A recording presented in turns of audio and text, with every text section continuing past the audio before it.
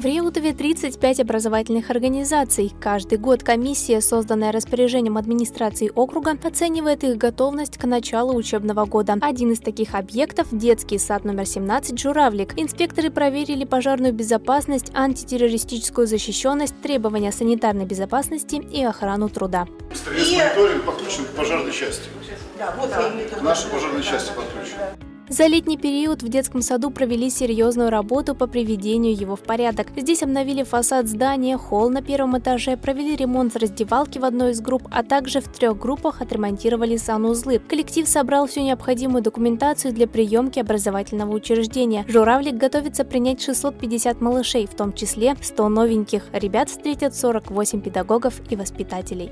Смотрят документы по гражданской обороне, по безопасности документы, документы по охране труда, то есть все документы, которые непосредственно связаны с жизнедеятельностью организации. Мы в этом году сделали ремонт нескольких помещений, коридоров в детском саду, обновили фасад, он стал яркий, красочный. Здание старое, но хочется, чтобы оно тоже э, выделялось и детям было приятно приходить в детский сад. Продолжим делать э, косметический ремонт ну, уже в последующие годы.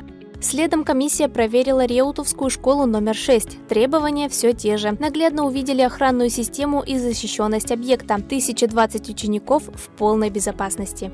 В руках кнопка тревожной сигнализации. Ежедневно утром проверяется, о чем делается запись в книгах.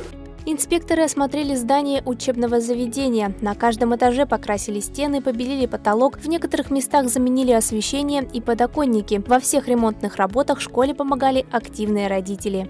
Все потолки во всех коридорах привели в порядок, новая побелка, а, все стены э, и в здании пристройки, в здании школы, все пролеты этажей, то есть мы сделали большой косметический ремонт в этом году. Два спортивных зала мы также обновили, сделали небольшой ремонт в некоторых кабинетах, это школьное здание, также меняем, конечно, подоконники, такие вот мелкие вещи. А Еще весной, в мае мы покрасили полностью наш актовый зал, обновили э, в течение года, сделали новые кабинки в санузлах.